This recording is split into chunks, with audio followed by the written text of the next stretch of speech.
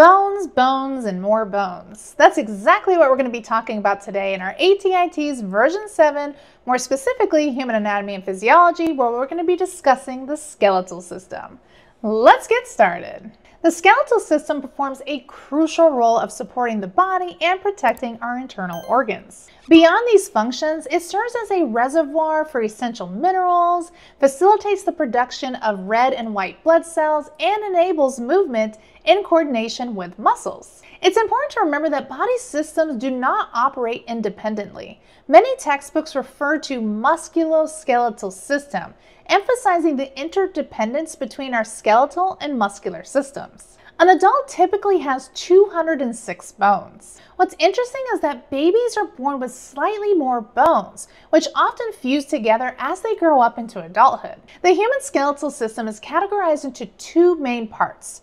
We have the axial skeletal and the appendicular skeletal. Starting with our axial skeletal, which forms the central axis of our body, comprises of our skull bones, the ossicles within our ears, the hyoid bone found in our throat, the vertebral column, as well as our rib cage. This structure not only supports our head and our neck movements, but it helps facilitate breathing. And it's also providing a foundational base when it comes to our appendicular skeleton. The appendicular skeleton includes all the bones of our arms and the shoulder girdle, which comprises of our collarbones and our shoulder blades. This is crucial when it comes to the function of our arms as well as our hands. Additionally, it encompasses the bones of our legs and our pelvic girdle, which is vital for enabling movement. Next up, we're going to dive into bone shapes and how we classify them. Starting with our long bones, this term doesn't necessarily refer to their length in the most literal sense. Instead, it's more related to that cylindrical shape and the fact that they are longer than they are wide. These bones are typically involved in movement facilitated by muscle contractions. Examples of long bone can be our femur, which is the prominent long bone found in our leg, as well as our tibia and our fibula. In our arms, we have the humerus, the ulna, and our radius. And then lastly, within our hands and our feet, we have the phalanges, the metacarpals found in our hand, and the metatarsals found in our feet. Unlike long bone, short bones resemble cubes, where their length and their width are going to be roughly equivalent. These bones are mobilized through muscle contraction and provide significant stability. Examples can include the carpals that we find in our wrists and the tarsals that are found on our ankles. Next up, we have sesamoid bones, and these are small, round bones that often resemble something like a sesame seed. These types of bones excel in handling pressure and are typically found embedded within tendons or muscles. A well-known example of a sesamoid bone is our patella that's found in our knee. Flat bones, despite their name, are not actually flat. They're often curved and thin. These bones include the cranial bones that are found in our skull and our scapulae or our shoulder blades, which play a crucial role when it comes to body structure as well as protection. And then lastly, we have irregular bones, and these kind of bones defy regular shape classifications. You're gonna see much more complex shapes that don't fit standard descriptions. Irregular bones like the vertebrae are adapted to protect against a variety of forces and support bodily movements in multiple directions. Let's delve into the internal structures of bones, which consists of two primary bone tissues. Compact bone tissue forms the outer layer of our bones, providing a hard, durable surface for protection. Beneath our compact bone, we have spongy bone tissue, which comprises of our bone marrow and a network of porous honeycomb-like structures. On the ATI TEAS, you're going to hear words like cancellous or trabecular bone, which is just another way of referring to this spongy bone material. You'll also find two types of bone marrow within our spongy bone. We have red bone marrow and yellow bone marrow. Yellow bone marrow is rich in fat and serves as a reservoir for long-term energy storage. Red bone marrow is vital when it comes to hematopoiesis, which is the production of blood cells. It can generate red blood cells, which are crucial for transporting gases like oxygen and carbon dioxide, white blood cells, which play a key role when it comes to our immune defense, and platelets, which is not actually a true cell, but a cellular fragment, which is essential for blood clotting. This complexity shows why bones are considered vascular because they possess a rich blood supply. Fractures that result from intense trauma, such as long bones we see in our femur, can not only lead to substantial internal bleeding, but can also possess additional risks. As we discussed, since bones contain yellow marrow that stores fat, severe fractures might release fat into our bloodstream. While the body can generally manage a small amount of fat release, a severe case might lead to a very rare but potentially serious condition known as a fat embolism syndrome. Another interesting side note is that in emergency situations, when we're unable to get intravenous access in the arm or anywhere throughout the body, medical treatments like fluid and medication administration can be administered directly into our bone marrow. This route of administration is called intraosseous, meaning within the bone. There are cells that play crucial roles in bone and cartilage formation and maintenance. Starting with osteoblasts.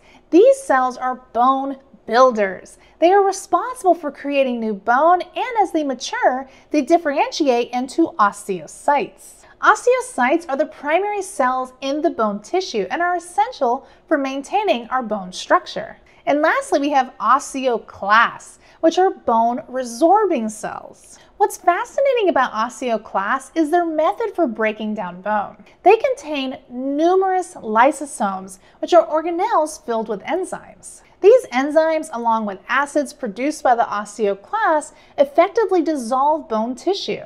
This process is vital when it comes to bone remodeling and calcium homeostasis in the body. You might ask yourself, why does the body intentionally break down bone? The reason is that the body continuously adapts to various stresses. They do this through a process known as bone remodeling, where old bone is systematically removed and new bone is formed in its place. This continuous cycle involves several distinct phases. There's resting, resorption, reversal, formation, mineralization, and then back to our resting state. During our initial resting state, the bone surface and bone cells, our osteocytes, osteoblasts, and osteoclasts, are all inactive. As we move into the resorption stage, you're going to find that osteoclasts are going to attach to the bone surface and create an acidic environment that's going to help dissolve that mineral component of the bone matrix.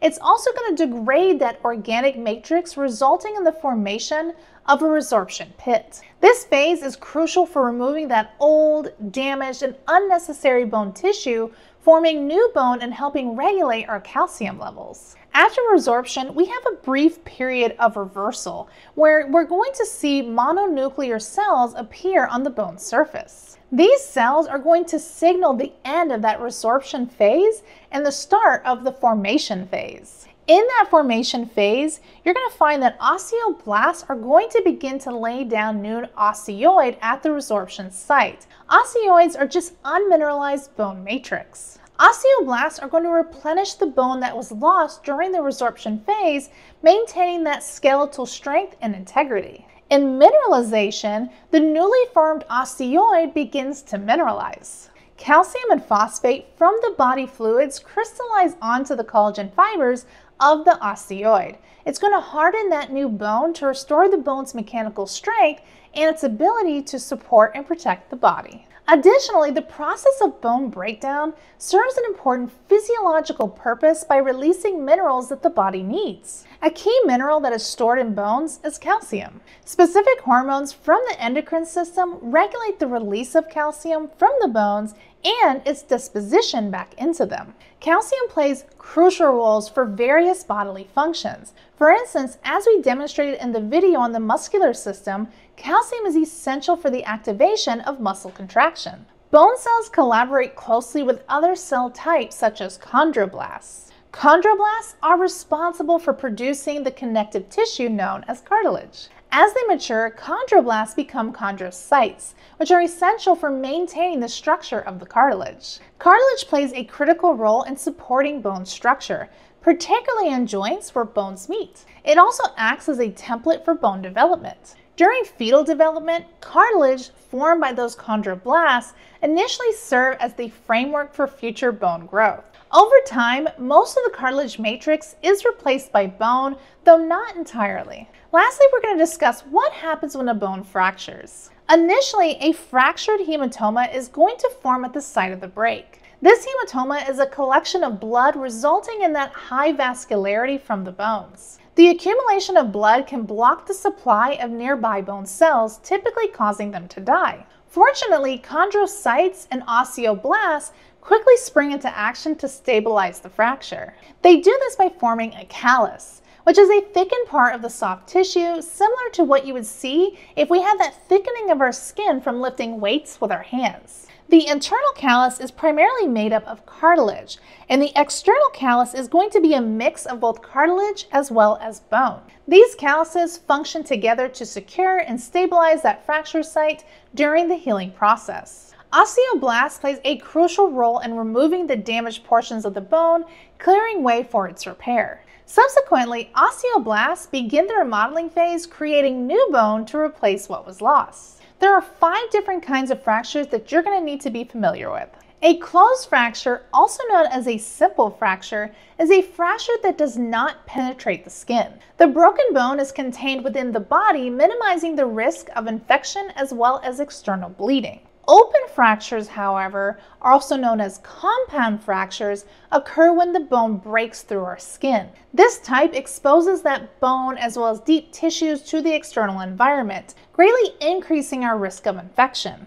Comminuted fractures are fractures where the bone shatters into three or more pieces. This type of fracture is particularly severe and often occurs due to high impact trauma. Impacted fractures, also known as buckle fractures, often occur when the ends of the bones are driven into each other, typically seen in arm fractures among children. And then lastly, we have green stick fractures, which again are common among children because their bones tend to be softer and more flexible. When we're taking a closer look at a green stick fracture, this occurs when the bone kind of bends or it cracks, but it does not break all the way through. I hope that this video is helpful in understanding everything you're going to need to know when it comes to the skeletal system.